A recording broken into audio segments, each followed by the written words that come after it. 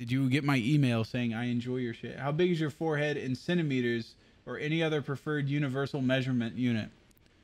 Uh, you want me to get a tape measure? I'll get a tape measure for for 10,000 bits. I don't know how much money that is, but that sounds like a lot. I'll be right back and get a tape measure. All right, I don't know about centimeters, but I got uh I can do inches, I think.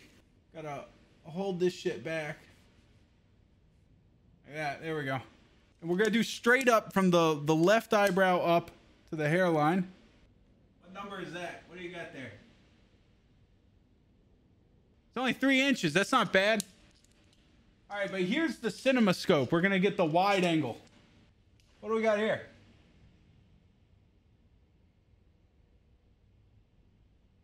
What is that? Nine inches.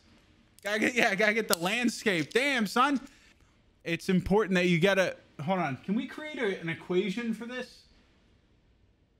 That'll give you the area. Yeah, yeah. What is it? Like height times width? Surface area? Okay, so I want everybody to do their homework. I want uh, measurements. Everybody's forehead. Can anybody beat 27 square inches of forehead? This guy says 29 inches. Okay, and if you're bald, it doesn't count. You can't be fucking wrapping the the thing over the top of your head. It's got to be someone with some hair. If Dr. Phil comes in here, I'm fucked because he's got like that patio area up in the top.